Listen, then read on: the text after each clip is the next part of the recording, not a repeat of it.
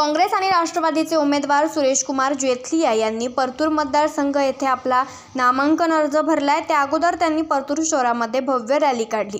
यावेळेस सुरेशकुमार जेथलियांसोबत हजारोंच्या संख्येनं कार्यकर्ते सहभागी झाले होते. यामध्ये युवकांची गर्दी ही खूप मोठी होती आणि त्यांच्यामधील उत्साह देखील मोठा होता.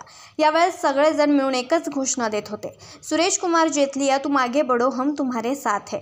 सुरेश कुमार जेथलिया यांचं व्यक्तिमत्व बघितलं तर ते सगळ्यांना मदत करणारे आणि गरिबांच्या अडचणीला धावून जाणारं असं व्यक्तिमत्व असलेल्या या व्यक्तीला ढोल ताशांच्या गजरामध्ये रॅलीमध्ये युवकांचा मोठा प्रतिसाद मिळालेला पाहायला मिळालाय. यावेळेस सुरेशकुमार जेतलियांसोबत नितीन भैया जेतलिया कपिल भैया आकात बळीरामजी कडपे पंकज नाना बोराडे रमेश सोळंके भाऊसाहेब यांसह वरिष्ठ नेते कार्यकर्ते आणि जनसमुदाय उपस्थित होता. रात्री दहा वाजो का बारा वाजो साहेब मतदारसंघातच आहे आमच्या मुलाईमुळे आम्ही जालन्याला राहायला गेलो. साहेबांना सांगितलं की साहेब तुम्ही चला जालन्याला. सगळेजण आपण नेते पाहतो. कोणताही नेता या ठिकाणी तालुक्यात थांबत नाही.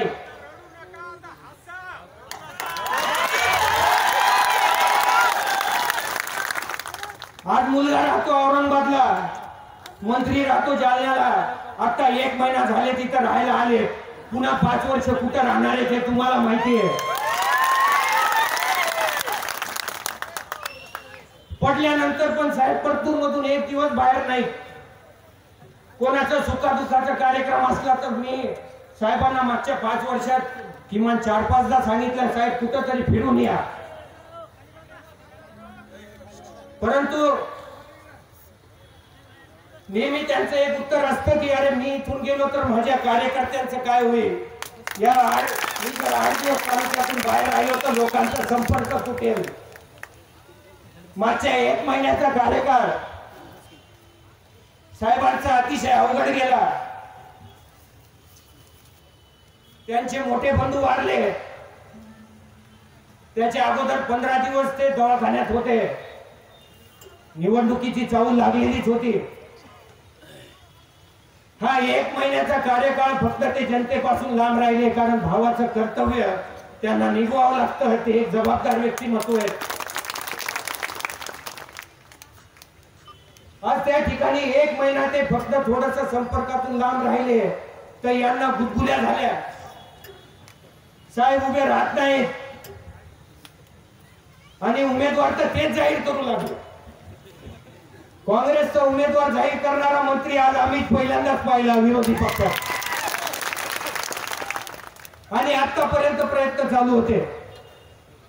परंतु साहेब पक्ष आहे निष्ठा आहे. काम केलंय. त्यामुळे हक्काने मागतोय सर्व सोबत आहे सर्वांना मागण्याचा अधिकार आहे.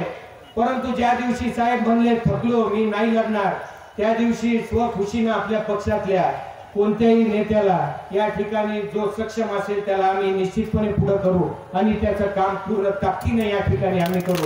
असं मी या ठिकाणी तुम्हाला बनवतो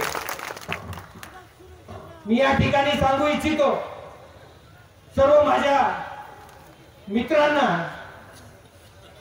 की आज प्रत्येकाला प्रलोभ तिथं दिलं जात आहे जे गेले ते कावळे जे राहिले ते मावळे ही अशी परिस्थिती आचारसंहिता लागणार दोन चार दिवसात की तेव्हा सर्व पत्र वाटण्यात आले. आमच्या कार्यकर्त्यांना सर्व या ठिकाणी आम्हीच दाखवले गेले.